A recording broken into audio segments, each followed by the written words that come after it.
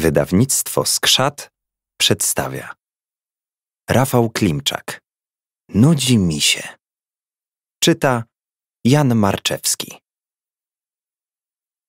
Rozdział pierwszy Nudzi mi się Wszystko zaczęło się pewnego jesiennego popołudnia. Szymek siedział na środku pokoju, otoczony zabawkami i krzyczał ile sił w gardle. Nudzi mi się! Nudzi mi się!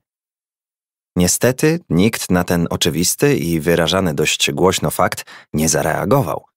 Starsza siostra Szymka, Agata, udawała, że nic się nie dzieje.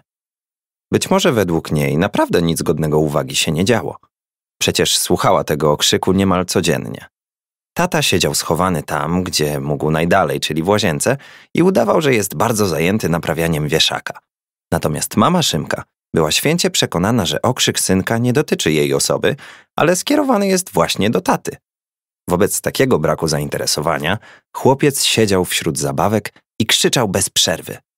Wreszcie tata stracił cierpliwość. Westchnął ciężko i poszedł do pokoju. Spojrzał na podłogę zasłaną zabawkami i zapytał: Gdzie? Co gdzie? zapytał Szymek. Gdzie są te nudzimisie? Nudzi mi się? Nie zrozumiał Szymek. No tak, przecież wołasz je od pięciu minut bez przerwy, stwierdził tata. Szymek uznał, że tata najwyraźniej żartuje z jego poważnego problemu, jakim było nudzenie się i wykrzywił buzię w grymasie niezadowolenia.